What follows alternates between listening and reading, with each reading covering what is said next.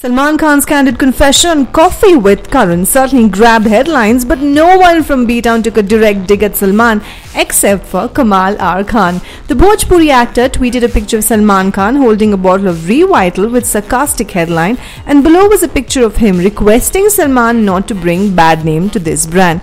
KRK also uploaded a visually expressive picture of Salman Khan sitting on the notorious couch and his ex-girlfriends laughing at him. He also wrote a tweet which was, This was a reaction of Katrina Kaif when Salman Khan called himself a virgin. This picture was pulled down immediately from the page.